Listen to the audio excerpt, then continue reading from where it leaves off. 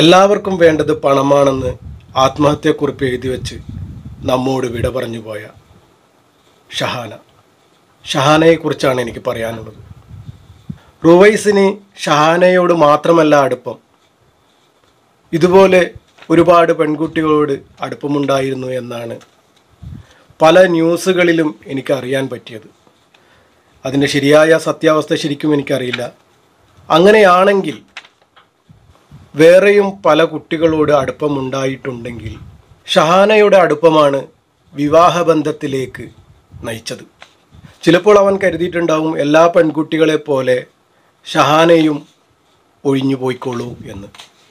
ഈ ഒരു ബന്ധം വിവാഹത്തിലെ അവസാനിക്കുമെന്ന് മനസ്സിലാക്കിയ റുവൈസ് ഇത് വീട്ടിൽ അവതരിപ്പിച്ചു. അല്ലാതെ അവനക്ക് പൂർണമായും അറിയാവുന്നതാണ് ഷഹാനയെ. ഒരു എത്തീമാണ് ഇവനെ പോലെ വലിയ സാമ്പത്തികമൊന്നുമില്ലാത്ത ഒരു കുട്ടിയാണ് പാവം കുട്ടിയാണ് എന്നൊക്കെ അറിയാം. ആ അറിയുന്നവൻ വീട്ടിൽ അവതരിപ്പിക്കുമ്പോൾ അതും കൂടി അവതരിപ്പിക്കണമായിരുന്നു. അവൻ വകതിരിവില്ലാത്ത കുട്ടിയൊന്നല്ലല്ലോ. അവന്റെ വകതിരിവ് ഡോക്ടർ വന്ദനയുടെ കൊലപാതകത്തോടനുബന്ധിച്ച് എല്ലാവരും ഈ ലോകം കണ്ടതാണ്. ആ ഒരു ഡയലോഗ് ഇന്ന് കാണുമ്പോൾ അവന്റെ ചെകിടം നോക്കി കൊടുക്കാനാണ് തോന്നുന്നത് അന്നൊക്കെ നമ്മളത് കേട്ടിട്ട് ഈ ഞാനടക്കം കൈയടിച്ചിട്ടുണ്ട്.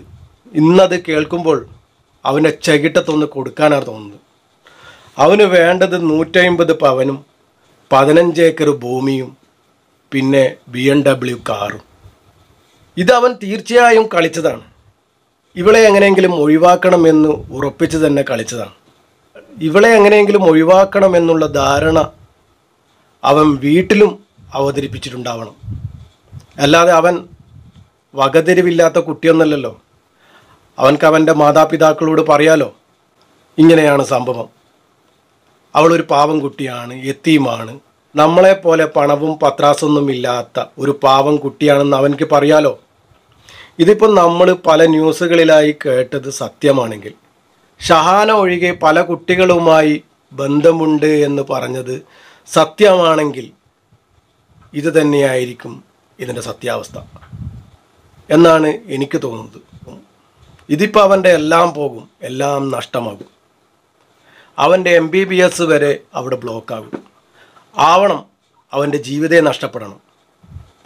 അവൻ ഇത്ര കാലം കഷ്ടപ്പെട്ടതൊക്കെ ഒരു നിമിഷം കൊണ്ട് ഇല്ലാതാവണം. കുട്ടിയെ ഒരു കണക്കിനും കുറ്റം പറഞ്ഞിട്ട് യാതൊരു കാര്യവുമില്ല. എത്തിയുമായ ആ പാവം കുട്ടിയായതുകൊണ്ട് തന്നെ ഒരുപാട് ആഗ്രഹിച്ചിട്ടുണ്ടാവും ഒരുപാട് മോഹിച്ചിട്ടുണ്ടാവും. പെട്ടെന്ന് ഇങ്ങനെ പറഞ്ഞപ്പോൾ അതിന് ഇങ്ങനെയൊക്കെ ആയിരിക്കും ചെയ്യാൻ തോന്നിയിട്ടുണ്ടാവുക. ആർക്കായാലും അങ്ങനെ തന്നെയാണ് തോന്നുക. എന്തെന്നായാലും ബഹുമാനപ്പെട്ട കോടതി ഇവന് തക്കതായ ശിക്ഷ തന്നെ കൊടുക്കണമേ എന്ന് പറഞ്ഞുകൊണ്ട് നിർത്തുന്നു. Good bye